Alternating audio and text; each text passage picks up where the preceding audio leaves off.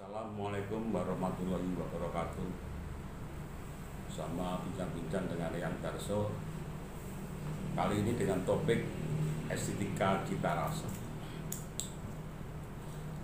Di dalam paradigma seni rupa dan desain Dewasa ini pada abad milenial Terjadi sebuah pergesekan. Bahkan saya bisa bilang adalah tarik menarik antara estetika non formal dengan estetika formal.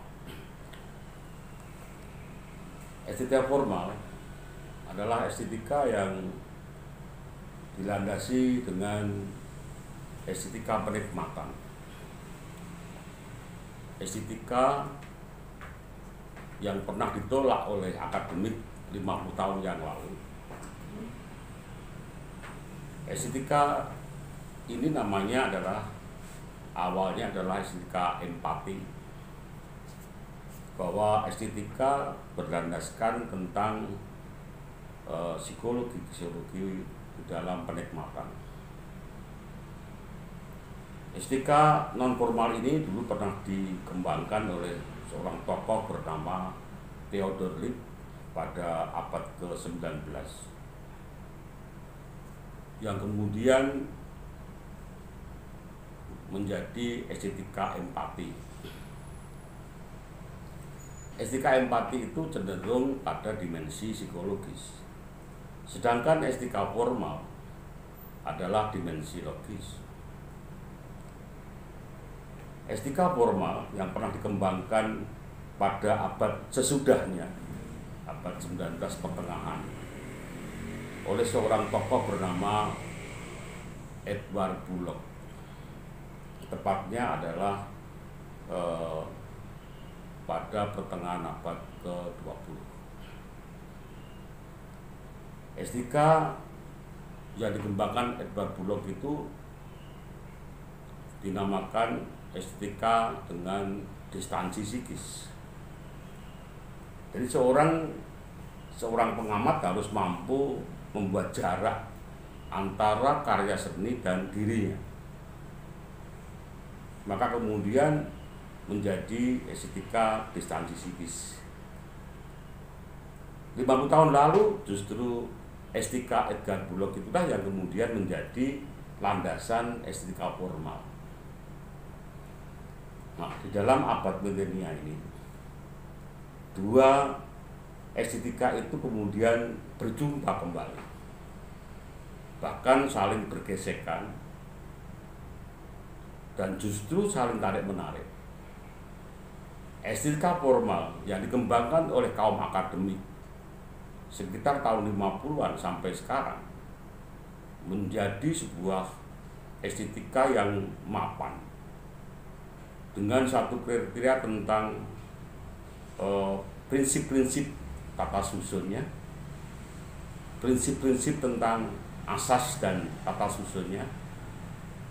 Jadi di sinilah betulnya ada satu kriteria-kriteria yang mapan berkaitan dengan harmonis, kontras, repetisi, irama dan sebagainya. Juga asas yang dikembangkan adalah keseimbangan dan kesatuan. Yang kemudian di dalam akademik disebut dengan mata kuliah rupa dasar ataupun nirmana di dalam pertunjukan namanya komposisi.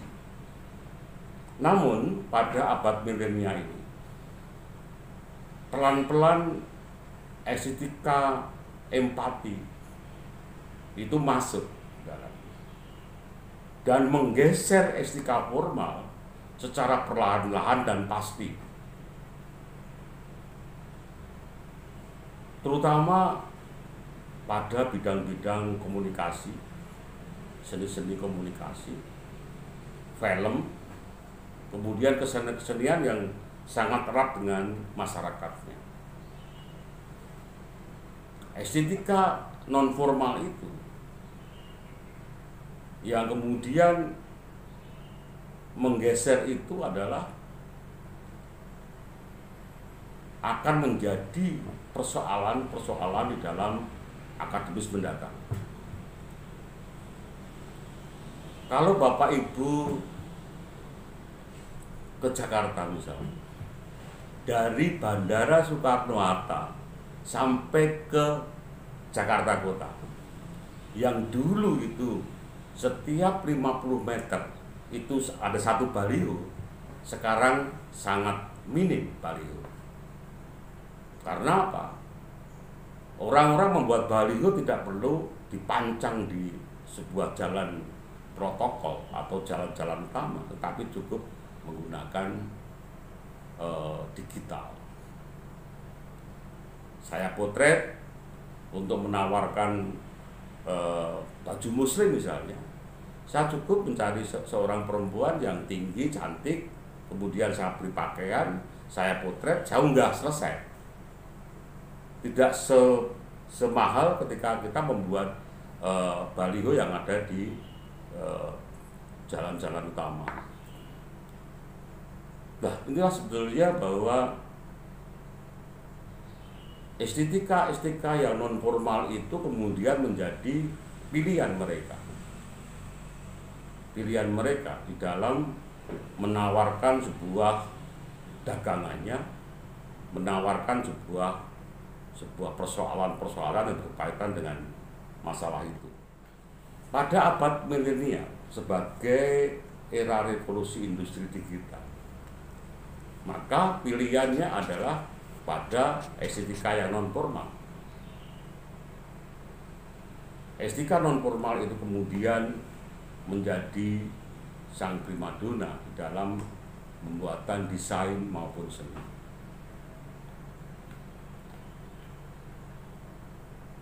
Pada abad milenial sebagai era revolusi industri kita saya sedangkan tadi terjadi sebuah pergesekan atau tarik menarik antara eh, estika non formal dan estika formal. Dan estika formal tergeser secara perlahan-lahan dan kemudian digantikan menjadi eh, pada estika non formal Estika, mena, estika non formal menawarkan pada setiap pengguna media sosial dalam kegiatan apa pun termasuk penciptaan seni, perancangan desain yang bertumpu pada teori relativitas dalam dimensi psikologis. Ini yang yang paling bagus. Perancangan seni dan desain tidak lagi terikat oleh prinsip dan asas desain tetapi didasarkan pada ultimatum atau keputusan senang dan tidak senang sebagai landasan berkarya seni dan desain.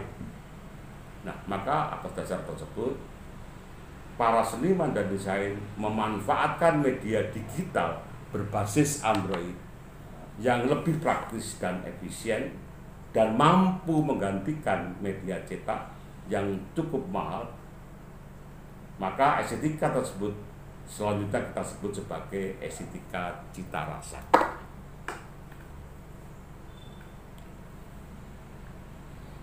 Pada abad milenial atau pada revolusi industri digital, kita dihadapkan oleh kemunculan kembali estetika seni yang didasarkan seni proses penikmatan yang cenderung bertumpu pada dimensi psikologis maka perspektif kajian ini difokuskan untuk menjawab pertanyaan tentang estetika yang dibangun oleh seniman dan desain saat ini.